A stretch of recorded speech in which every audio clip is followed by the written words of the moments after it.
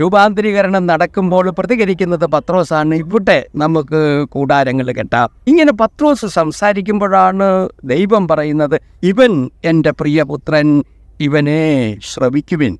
എന്ന് പറഞ്ഞാൽ നിന്റെ സംസാരം നിർത്ത് ഇവനെ കേൾക്കുവിൻ. പ്രാർത്ഥനയുടെ രൂപാന്തരീകരണത്തിന്റെ ദൈവപുത്രത്വത്തിലേക്കുള്ള വഴിയുടെ പ്രധാനപ്പെട്ട ഘടകമാണ് കേൾവി ശ്രവണം. വൈറലായ ഒരു വീഡിയോ ഉണ്ടായിരുന്നല്ലോ. ഒരു പ്രായം ചെന്ന വല്യപ്പനും വല്യമ്മയും കൂടെ വീടിന്റെ തിണ്ണയിലിരുന്നുകൊണ്ട് സംസാരിക്കുക. വല്യപ്പന് ചെവി കേൾക്കാൻ മേല.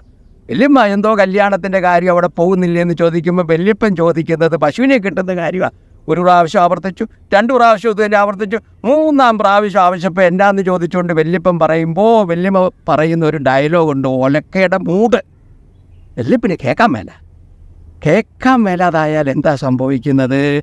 കമ്മ്യൂണിക്കേഷൻ ഇല്ലാതാകും. പരസ്പരമുള്ള മനസ്സിലാകലില്ലാതാകും ബന്ധങ്ങൾ മുറിഞ്ഞു പോകും.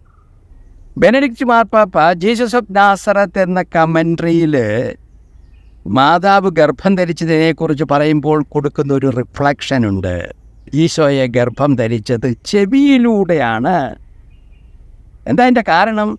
ഗബ്രിയൽ ദൂതൻ പറയുന്നത് കേൾക്കുമ്പോഴാണ്. ശ്രവണത്തിലൂടെയാണ് ക്രിസ്തു രൂപപ്പെടുന്നത്. അതുകൊണ്ടാണ് മലയിലെ ശിഷ്യന്മാർക്കുള്ള കൽപ്പന ഇവൻ പ്രിയപുത്രൻ ഇവനെ കേൾക്കുവിൻ. ഫ്രാൻസിസ് മാർപ്പാപ്പ അദ്ദേഹത്തിന്റെ അപ്പസ്തോലിക പ്രബോധനം ഗൗദേത്തെ തെക്സുൽത്താത്തെ അതിന്റെ നൂറ്റി അൻപതാം നമ്പറിലും നൂറ്റി അൻപത്തി ഒന്നാമത്തെ നമ്പറിലും പറയുന്ന ഇത് തന്നെയാണ് പ്രാർത്ഥനയുടെ ഹൃദയം എന്ന് പറയുന്നത് ഈ കേൾവി ആണ്. നൂറ്റി അൻപതാമത്തെ നമ്പറിൽ ഫ്രാൻസിസ് മാർപ്പാപ്പ എഴുതുന്നു ദിവ്യനാഥനോട് കൂടി സമയം ചെലവഴിക്കുക. അവിടുത്തെ വാക്കുകൾ ശ്രവിക്കുക.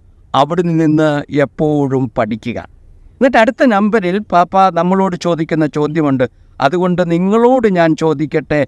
കർത്താവിന്റെ സന്നദ്ധിയിൽ നിങ്ങളെ തന്നെ നിശബ്ദമായി നിർത്തുന്ന നിമിഷങ്ങളുണ്ടോ? ശാന്തമായി അവിടുത്തെ ശ്രവിക്കാറുണ്ടോ?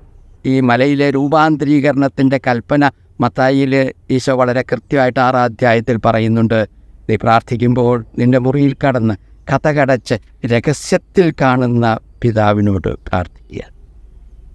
ഇത് ഇന്ദ്രിയങ്ങളെ പിൻവലിക്കലാണ് നിശബ്ദമാകലാണ്.